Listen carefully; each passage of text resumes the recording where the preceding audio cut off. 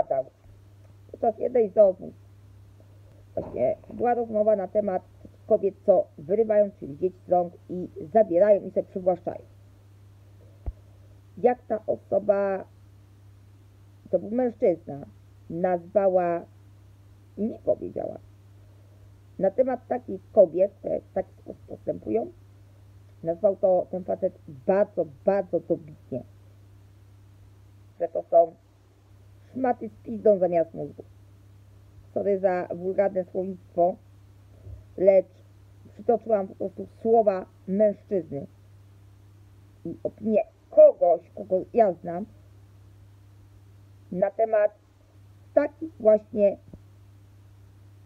kobiet, które w taki sposób krzywdzą innych. Bo taka kobieta nie pomaga nikomu. Ona pomaga sobie, nie pomaga dziecku nie pomaga matce. Tylko pomaga sama sobie, bo taka kobieta, która w taki sposób postępuje, jest niedowartościowana, bądź jej ego jest zbyt wysokie. Tak, ponieważ kobiety, które mają zaburzone bądź zaniżone ego, w taki sposób, bądź zaburzoną osobowość, bardzo poważnie i myślenie, w taki sposób postąpią. Tak naprawdę. Ja bardzo dobrze to wiem.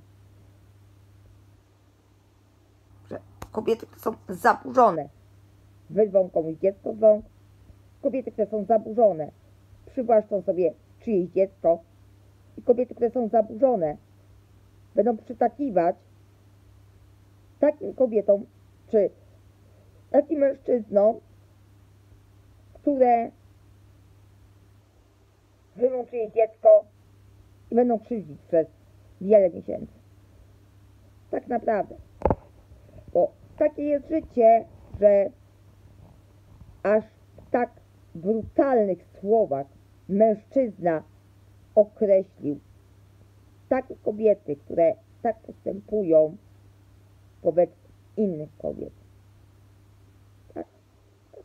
Tak? Podczas jednej z rozmów kiedyś ze mną.